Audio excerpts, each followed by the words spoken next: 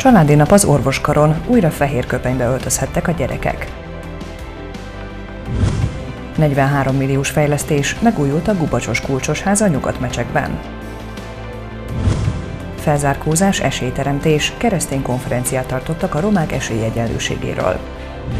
1 százalék, a Misina Természet és Állatvédő Egyesület kéri a felajánlást.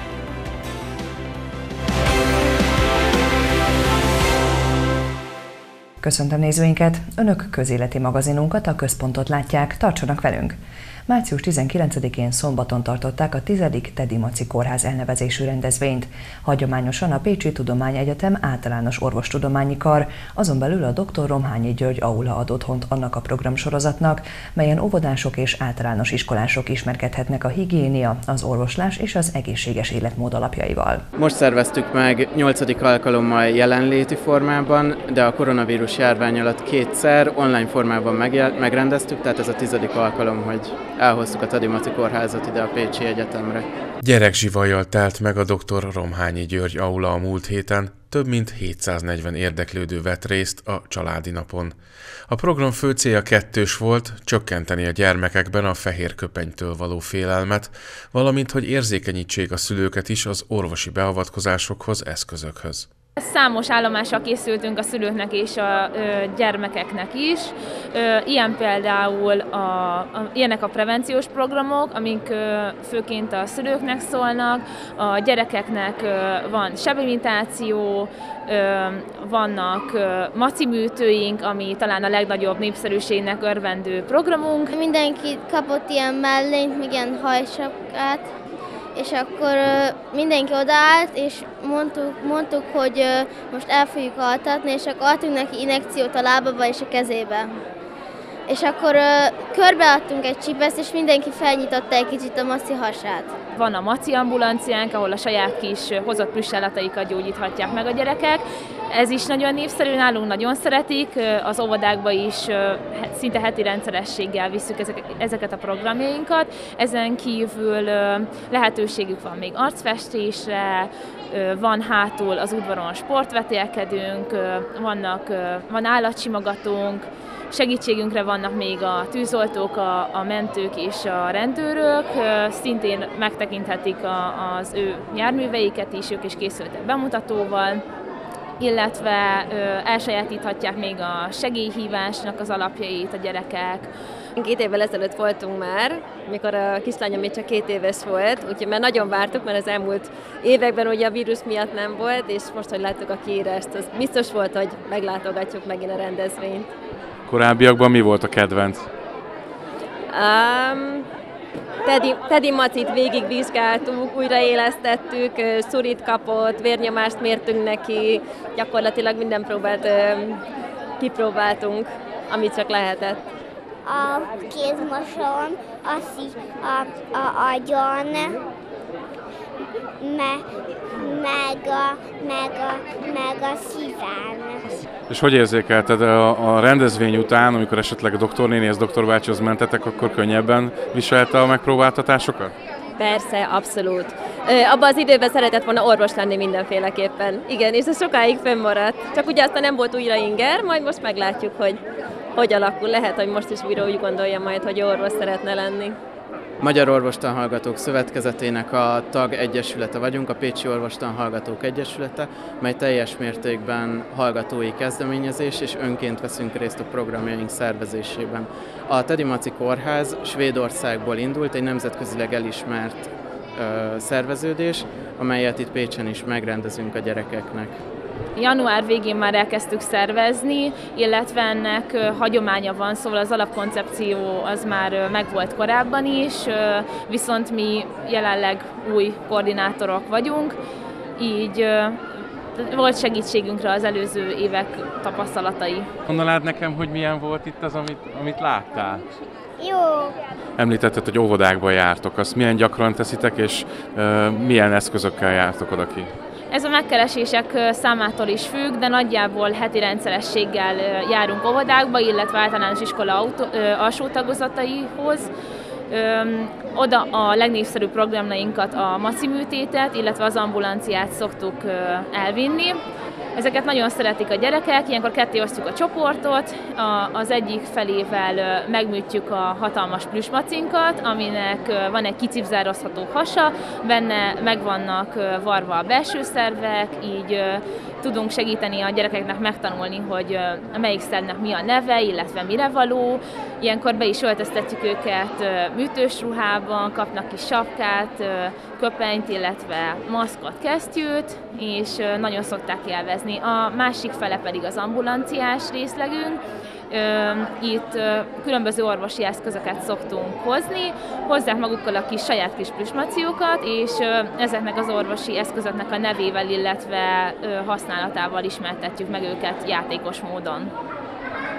Milyen ajándékot tér haza az a kisgyerek, akit végigcsinálja az összes programot?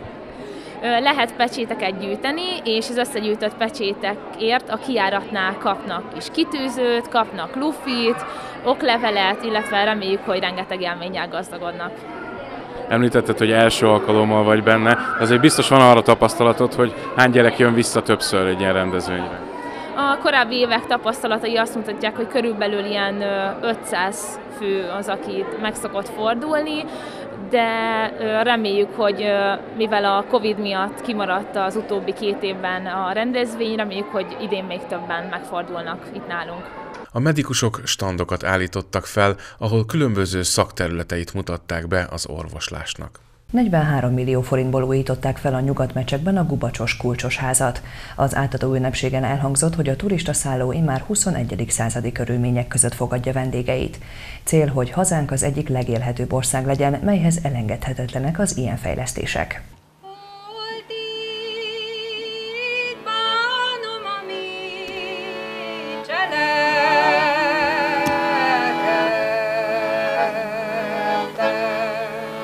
Népi dallamokkal vette kezdetét az elkészült Gubacsos kulcsosház átadó ünnepsége a Nyugatmecsekben.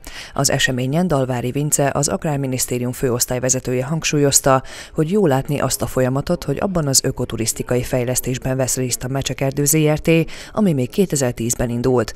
Az országban ugyanis már több szép eredményt is elértek. Rengeteg kilátót, erdeiiskolát, turistaházat, kisvasút fejlesztést tudott megvalósítani a 21 állami erdészeti részvénytársaság, és ezzel el lehetett azt érni, hogy a, a 2 millió hektárnyi erdőből több mint 1 millió hektárt kezelő állami részvénytársaságoknál található a legnagyobb számban olyan ökoturisztikai létesítmény, ami kikapcsolódási lehetőséget, programot kínál a társadalom széles rétegének.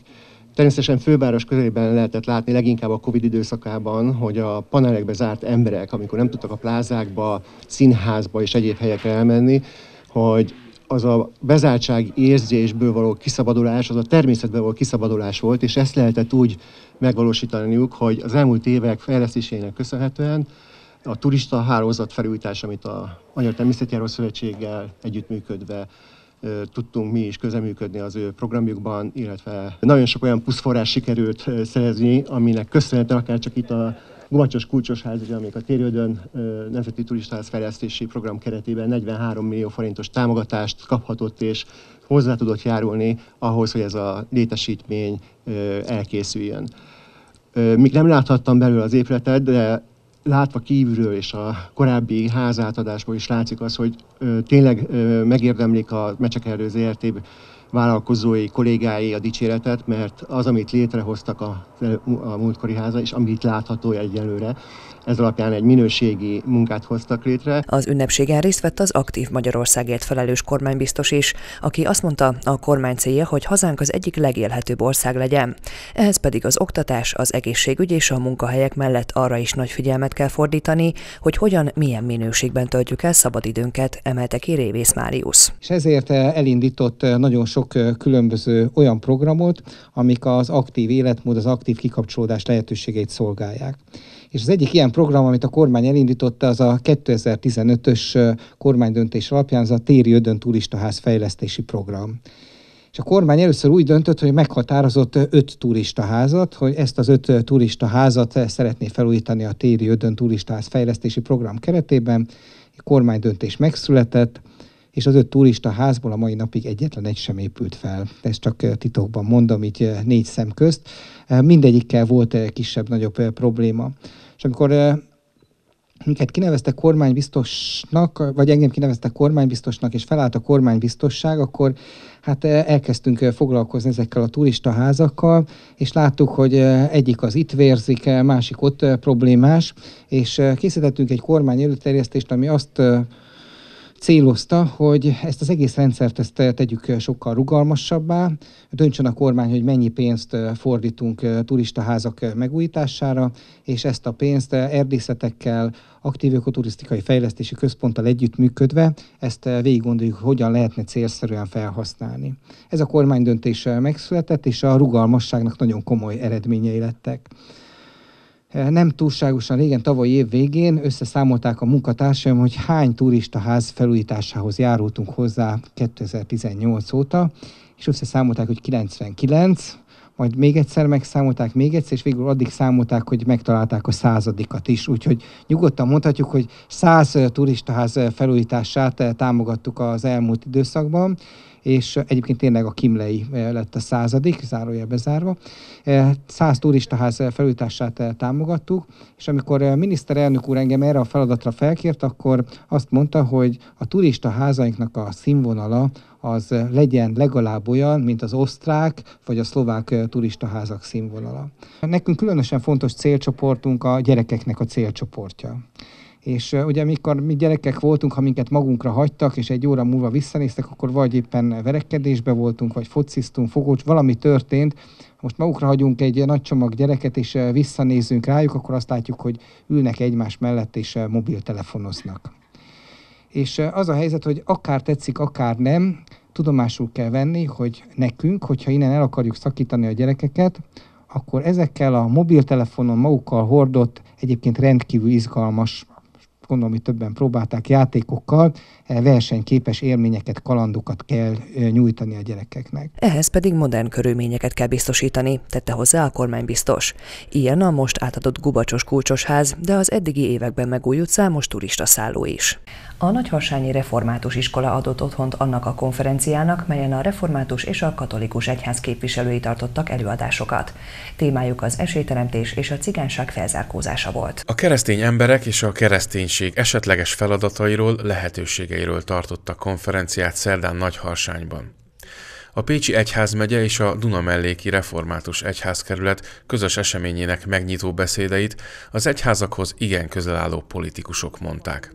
Elsőként Hoppál Péter, a Pécsi Református Gimnázium igazgató tanácsának elnöke lépett a mikrofonhoz, aki a múlt században és a rendszerváltás után nehéz helyzetbe került egyházi iskolákról beszélt.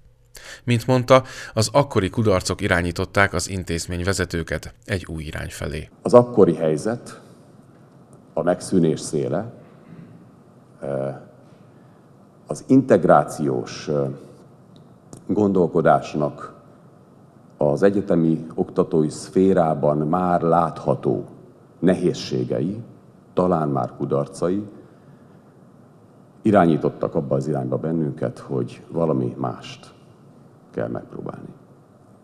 És köszönet és hála illeti a Nagyharsányi Református Általános tanári karát, Láza Korsolya korábbi Pécsi Református kollégi diákunk igazgatónő vezetésével, és köszönet és tisztelt és hála illeti a Drávafoki Református Általános Iskolánk tantestületét, hogy ezt a valami mást, ezt a szakmai aktorokkal együttműködésben megkeresték és megtalálták.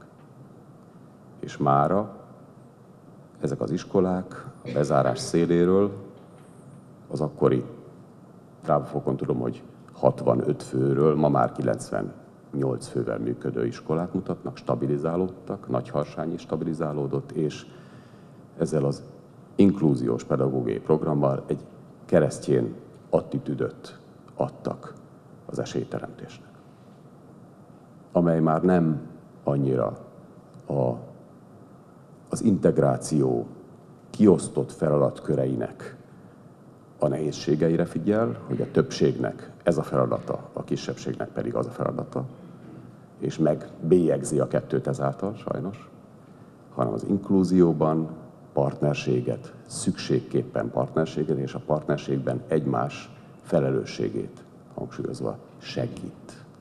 Balogh Zoltán miniszter püspöki minőségében mondott beszédet, aki még inkább kiemelte a segítségre szorulók saját felelősségét, valamint hosszan taglalta, hogyan kell ezen túl az elesettek és az azokat felemelni kívánok viszonyát új módon tekinteni. Valóban én ezt egy fontos, eh, fontos nevezzük innovációnak, egy fontos újításnak tartom, hogy nyelvileg is olyan módon próbáltunk közelíteni ezekhez az ügyekhez, és újra visszatérnék a Martin Bubernek az idézetéhez, éppen olyan, olyan, mint te, hogy nem osztottuk föl a világot, és nem is javasolnám senkinek, hogy osztva föl segítőre, meg megsegítettekre mint hogyha lenne a egyes számú, meg a kettes számú, és akkor a, a, a segítők, ha nem segítenek, a többségi társadalom, akkor szégyeljék magukat, a kettesek meg, akiknek segíteni kell, ők meg mindig áldozatok. Nekik ebben az ügyben semmi dolguk nincs. Ezért töröltük fel a felzárkóztatás szót, és változtattuk felzárkózásra. Minden embernek felelőssége van a saját életéért. A legnyomorultabbnak is. A leg, a, ahogy Püspök atya mondta, nagyon szépen és megrendítően, igen, mindannyiunknak vannak veszteségei az életbe. És nem egyforma az, hogyha valaki a másnapi kenyéren gondolkodik, mert ma nem jutott egy darab kenyér se, ilyen is van, most Kárpátalján ez a helyzet alakul ki a cigány táborokba, ott Beregszászon, meg hogyha egyébként a a szíveinek kedves, nem tudom milyen gondolatától fosztották meg. Őri László, a Baranya megyei önkormányzat elnöke beszédében elmondta, hogy az egyházi szervezetek évszázadok óta dolgoznak a szegregált csoportok megsegítésén. Mindig az élvonalban és mindig olyan segítséget nyújtva, amit se az állam, se a világi humanitárius szervezetek nem tudnak nyújtani. A lélek és a szellem tisztulását, ébresztését, vállalták. Étel és ruha mellé, amely természetesen fontos, a lélek és a szellem táplálékát is adják, Jézus feltétel nélküli szeretetét. A testi szükségletek mellé a lelki-szellemi növekedést is kínálják. Tisztelt jelenlévők, hölgyeim és uraim, kedves barátaim! Tapasztalatunk szerint könnyebb, jól lehet alapvető feltétel, hogy az infrastruktúrális környezetet szükséges fejleszteni. Termelő egységeket létesíteni, intézményeket és iskolákat alapítani. Ez mind, mind könnyebb, mint az emberek, a közösségek gondolkodását, a mentalitást befolyásolni, vagy azt megváltoztatni. Könnyebb a gazdaságot, az ipart, fejlődő pályára állítani, bár olykor ehhez is nagy erőfeszítések és komoly összefogás szükséges, de még mindig könnyebb, mint az emberi lelkeket navigálni, növeszteni, a közösségek között szociális, kulturális korlátokat lebontani. Pedig ez utóbbin fordul meg minden. A sikeres társadalmi integráció, valódi esélyteremtés egy hosszú távú projekt, hogy ezzel az idegen szóval éljek, és a lehető legösszetettebb program is egyben. Egy több, olyan több szereplős együttműködést kíván meg, ahol a több szereplő, az állam, az egyház, a civil társadalom, és olyan több te- terület, mint a gazdasági, kulturális és a közművelődési élet különböző szereplői fognak össze, és gondolkodnak közösen. Az 1%-ok felajánlását kéri a Misina Természet és Állatvédő Egyesület. Az állatok takarmányozására sosem elég igazán a fedezet, ezért továbbra is fogadják a tápadományt és az anyagi támogatást is. Néhány nap múlva megjelenik a népszerű közösségi oldalon és webportálukon is a nyári programok táborozási lehetőségek sora. Az állatotthonoknak a támogatás mindig el kell. A sok menhelyes gazdátlan árva gondozása, etetése sok költséget igényel. Szerencsére mindig vannak rendszeres és új védelmezők, segítők, akikre lehet számítani. A Misina Természet és Állatvédő Egyesület támogatói között sokan családosok és 25 év alattiak, akiknek idén nem kell adót fizetni. Ők is felajánlhatják adójuk egy százalékát, mondja Farkas Tamás, az Egyesület elnöke. Csak ezt nem ők fogják fizetni, hanem a felajánlók arányába egy közös kasszából az állam fogja kifizetni ezt a felállított összeget a civil szervezeteknek. Szeretném még egyszer hangsúlyozni, ez a felajánlóktól nem kerül levonása, hanem egy vészalányos, gyakorlatilag egy támogatási mutató alapján kerül egy, önko- egy kormányzati alapból majd ö, felosztásra a civil szervezetek között. Nagyon fontos szerintem elkölcsileg és anyagileg egyaránt. A problémás kutyák vannak többségében, amelyek általában nagyobb traumán estek át. Hozzájuk később nagyobb türelem, megértés, szeretet szükséges. Ezeket az ebeket sajnos rosszul nevelik, sokszor bántalmazzák, és csak rövid ideig kell a gazdájuknak, teszi hozzá az állatotthon vezetője. Ami viszont nem jó, hogy ugyanúgy egy állatmenhely is nagyon-nagyon megjegyzi azokat a negatív változásokat, amit az egész gazdaság. Tehát felmennek az árak, ezeket az árakat, ezeket nekünk is ugyanúgy ki kell gazdálkodni. Tehát folyamatosan emelkedik az állatgyógyszer, folyamatosan emelkedik a tápoknak az ára, ugyanazok az áremelkedések nagyon intenzíven megjelennek itt is, az állatokat pedig napi szinten el kell látni. Ezért egyre fontosabb lesz én azt gondolom a, a felajánlások, az adományoknak a, a talánya. Az elmúlt két év pandémiás állapota miatt a nyári programok egész sora vagy elmaradt, vagy beszűkült keretek között volt csak megtartható. Idén azonban úgy tűnik, visszajön a régi élet a Misinánál. Bízunk benne, hogy sokkal jobb, hiszen azért évekkel visszamenőleg, most majd a két éves időtávlatot beszélhetünk, azért a pandémia nagyon visszavetett jó néhány dolgot. Rendezvények, terápiák és egy csomó olyan program, ami, ami, ami nagyon fontos. Bízunk benne, hogy most ez a nyár és az az időszak ez békésebben fog ilyen szempontból eltelni. Szervezzük most már, nem sokára meg fognak jelenni a nyári táborainknak a programjai, illetve egyre több felkérést, egyre több meghívást kapunk különböző rendezvényekkel, ahol szerencsére idén ott is tudunk lenni nagy részt. Én arra szeretném mindenkinek felhívni a figyelmét, hogy aki úgy gondolja, hogy szeretne jelentkezni, ezt hamar tegye meg, mondhatjuk, hogy szerencsére népszerűek ezek a táborok. Egy százalék támogatás, adomány állatelederre és nyári táborozás programok. Ez most a legfontosabb projekt a misináiknál. Önök központ című közéleti magazinunkat látták. Köszönöm figyelmüket, viszontlátásra!